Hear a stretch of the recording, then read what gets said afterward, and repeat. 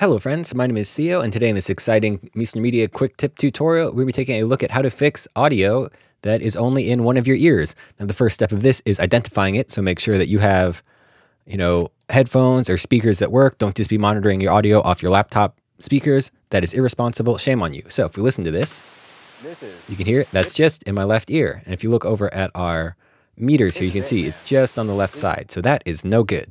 So my favorite way of doing this is selecting all the clips that you want to change. In this case, I just have this one clip, but you know, if you have a bunch of interview clips that are all recorded the same way with audio only on the left channel, then you can just select all the clips, then right click, go to clip attributes, and this works in the media pool in both the timeline page that I'm in now and also in the media pool.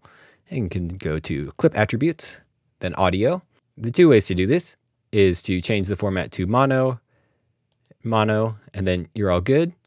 But the way I tend to do it, just because it's a little faster, is just change the embedded audio to channel one. So you can see now our left track is going to be taking our channel one audio and our right track is going to be taking our channel one audio. So this channel one is what's going to be on your left side normally, but also maybe if you're recording on channel two, you can do the same trick there. And I just gravitate towards this because it's fewer clicks. It goes a little faster. It's a little neater to do the mono thing, but here we're just going to do it this way. And then we hit okay. And if we play this through, you'll hear it's still wrong, but if we delete this and re-add our clip into the media pool, you can hear this is where it's at. Now we are correct. So another way you can do this is let's go ahead and undo what we did there. So clip attributes, change this back to the way it was, hit OK.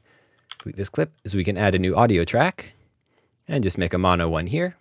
And now we can add our clip in before and you see we are in our previous audio track that we were in. And if we play this, it's still wrong you see down there. But if we move this down to our new audio track, let's go ahead and hit Alt and drag so things are a little more behaved. Now if we play this through, this is just like that. So if you've already got a bunch of clips in your timeline, this is probably the easier way to do it. Is just create a new audio track and you can you know name this whatever you want. Mono. If you're doing a bunch of interviews, you know, just put all your audio for that on there, and you can see which track is the mono because it's got this 1.0 there. These other ones are stereo tracks with this 2.0. And you see, if we want to be really cool, we can add a 5.1 track and you see 5.1. So just that easy.